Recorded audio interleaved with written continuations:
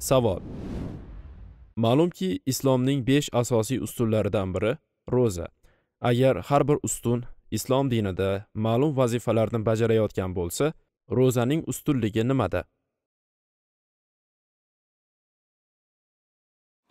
payg'ambarimiz sollallohu alayhi vasallam o'z hadis shariflarida marhamat qilib aytadilarki bunyal islamu ala xamsin ya'ni islom dini beshta narsaga e, bino qilingan deganlar u kalimai shahodat ya'ni la ilaha illalloh muhammadu rasululloh ashhadu an la ilaha illalloh va ashhadu anna muhammadan abduhu va rasuluh kalimasi undan keyin bir kunda besh mahal namoz o'qishlik ustuni undan keyin ro'za tutishlik ustuni undan keyin esa zakot berishlik ustuni va nihoyat oxirida e, qodir bo'lganlar haj ibodatini ado etishlik ustuni.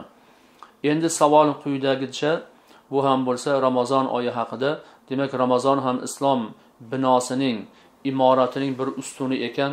Uning ahamiyati nimada? Uning mohiyati nimada? Har bir ustunni o'ziga yarasha bir mohiyati egallagan mavqei o'rni bo'lishligi kerak. Mana shu ma'noda ramazon qanday mohiyatga ega degan savol bo'lgan ekan. Bu savolga ham azizlar yuqorida o'qilgan oyati karima orqali javob berib o'tsak bo'ladi unda alloh taolo marhamat qildiki audu billahi minash shaytonir rojim يا أيها الذين آمنوا كتب عليكم الصيام كما كتب على الذين من قبلكم لعلكم تتقون mana shu laallakum tattaqun degan oyati karimani eng oxirgi jumlasi aynan shu savolga javob bo'la oladi islomning besh ustunidan biri dan ko'zlangan asosiy maqsadlardan biri bandalarni o'zida taqvo malakasini hosil qilishi taqvodorlik sifatini o'zida mujassam qilishi. Agar taqvodorlik sifati xususiyati shu bandada bo'lsa uni rivojlantirish mustahkamlash oliy darajaga ko'tarish. Agar taqvo xususiyati sifati bu insonda bo'lmasa o'sha sifatni hosil qilish paydo qilish va uni sekin sekin rivojlantirib mustahkamlab borishlik ma'nosi bor. Har bir ibodatni o'ziga yarasha mohiyati bo'ladi. Lekin hamma ibodatlar umumiy olganda o'zi taqvoni hosil qilish uchun xizmat qiladi. Masalan namozni oladigan bo'lsak alloh taolo auzu billahi minash shaytonir rojim inna solata tanha anil fahshai val munkar. Ya'ni albatta namoz o'z egasini e, ishlardan ya'ni e, gunohi ma'siyatlardan va yomon ko'riladigan ishlardan yomonliklardan barchasidan yovuzliklardan saqlaydi himoya qiladi deb marhamat qilgan. Demak namozni mohiyatlari nihoyatda ko'p. Shu mohiyatlardan bittasi o'z egasini gunoh ma'siyatlardan yomonliklardan faxsh ish va faxsh so'z muomala munosabatlardan himoya qilar ekan. Bu degani namoz o'qigan inson boshqa insonlar bilan bo'layotgan muomala munosabatlarida yurish turishida hayot tarzida ish joyida ko'cha kuyda jamiyatda qayerda bo'lishidan qat'iy nazar o'sha namozi uningga hamroh bo'ladi va namozi uni jamiyatda bo'layotgan yomon ishlardan saqlanishiga sababchi bo'lishi kerak. Payg'ambarimiz alayhissalotu vassalom masalan zakot haqida aytadilarki az zakatu qontarotul islom zakot bu islomni ko'prigi deganlar. Shunga o'xshash har bir ibodatni o'ziga xos bo'lgan mohiyati bor ma'nosi mazmuni bor o'rni bor mavqei bor.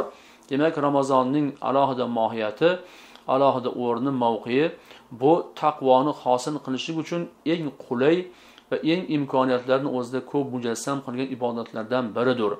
Har bir mo'min musulmon ro'za tutar ekan o'zida taqvo degan sifatni hosil qilish kerak malakasini oshirish kerak. Taqvo o'zi nima?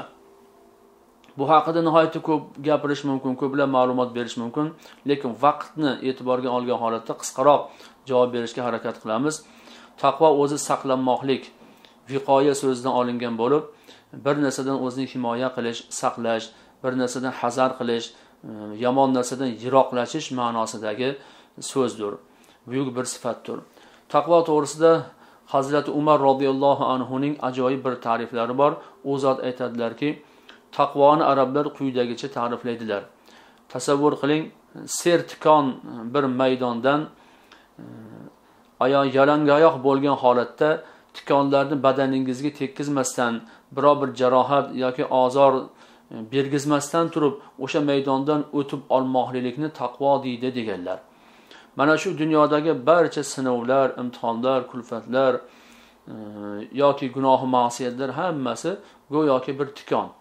Dunyo tikonzorlardan tashkil topgan bir maydondir mana shu maydondan har bir mo'min musulmon kishi bus butun jarohat olmagan holatda sihat salomat holatda iymon e'tiqod bilan o'tib olsa tikonzordan nariyog'idagi maydon bu inshaalloh oxirat jannat e, u yerdagi abadul abad bo'ladigan noz ne'matlar rohatu farog'at alloh taoloning jamolini ko'rish payg'ambarimiz sollallohu alayhi vasallam bilan qo'shni bo'lishlik baxtiga sazovor bo'lish maydonidir demak hazrati umar roziyallohu anhuning ta'riflariga muvofiq har birimiz mana shu dunyo tikonzoridan taqvo qilgan holatda yalangoyoq holatda tikonlardan ozorlanmasdan biror bir joyimizga jarohat yetkazmasdan qonatib e, qon oqqizmasdan balki sihat salomat bus butun iymon e'tiqod bilan o'tib olmoqlikni taqvo deyilar ekan.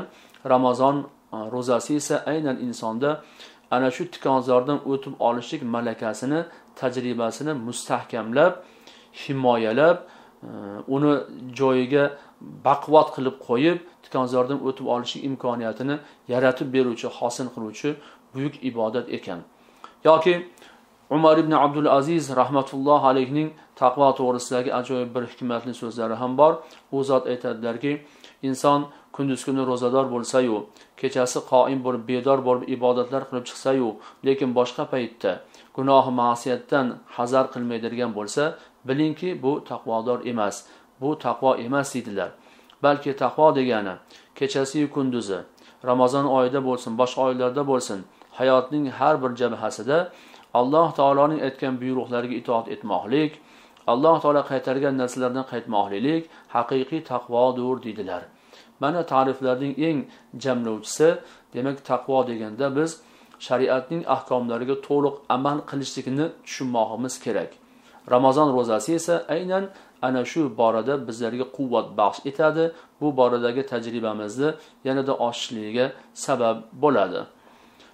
Demak bu e, oyni islom dinidagi alohida tutgan o'rni ustuni shuki islom dini bir imorat bo'lsa aynan taqvo degan ustun bu ramazon oyi tufayli paydo bo'lar ekan islomni binosini ko'tarib turadi yanada baquvvatlashtiradi.